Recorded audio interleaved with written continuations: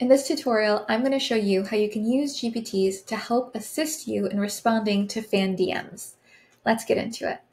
Now, in most of my other tutorials, I actually write the prompts myself, but for the sake of this one, we're going to use one of the prompt templates instead. So first, when you go into GPTease, you're going to be brought inside the dashboard into our chat interface. What you're going to see on the screen are some suggested prompts to get started, this icon for our prompt library where you can choose one of our pre-created prompts and then edit it and use it to your liking. You're going to see your chat history over here on the left. You're going to see the option to create a new chat. You're going to see the chat box at the bottom where you can create and write your own prompts. You're going to see the personalized GPTease button where you can personalize GPTease to be a better extension of you as a creator. And then in the bottom left, you're going to see your profile where you can edit your billing, review things, etc. Now, I mentioned earlier in the tutorial that we're going to use one of the pre-made templates for this use case. So let's go to the prompt library to get started.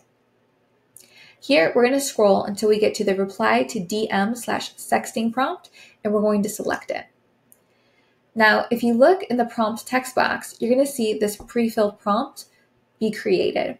And what we're going to do is we're going to edit it specifically for our use case. So help me with a sexting session scenario with a fan.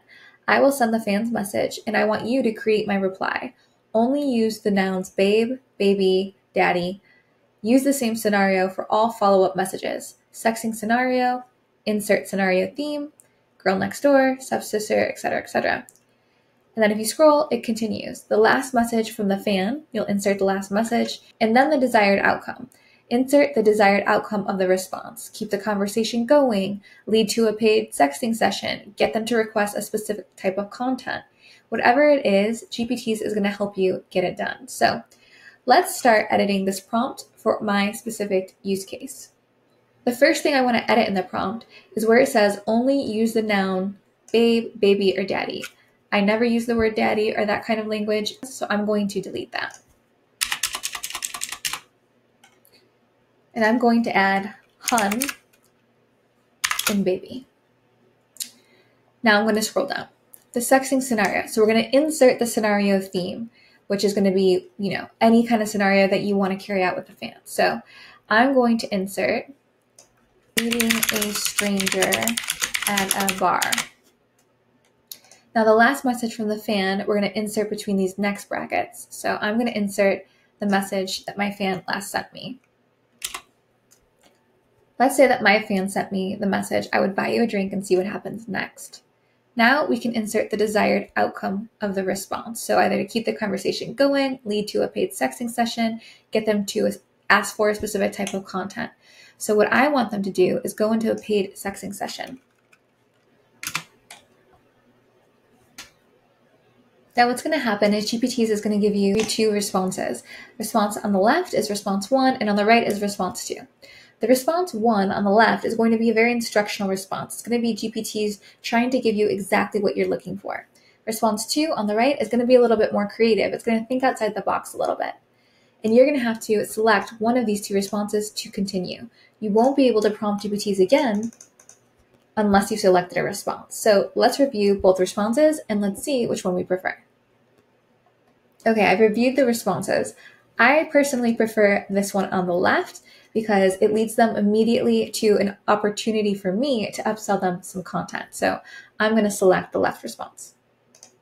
Once you've selected a response, you're going to see it fill the screen on GPTease, and you'll be left with the response you selected and the original prompt that you sent. Now, at the bottom, you're going to see these three icons. This is the icon to copy it. This way you can paste it in your fan DM to respond to their message.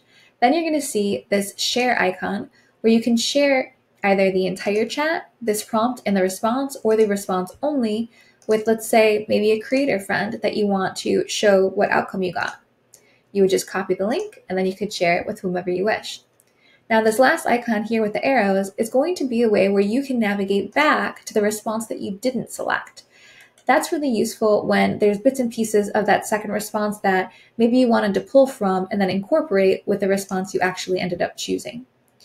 Now, once you've got your response, you are ready to copy it and respond directly to your fan DM. So I hope this is really useful.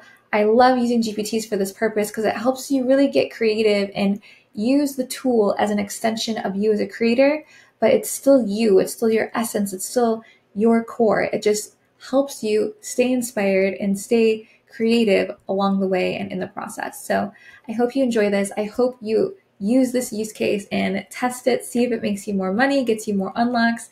And I know that GPTease can help you navigate all of those conversations that maybe you haven't quite replied to. Thank you so much for watching, and I'll see you in the next video.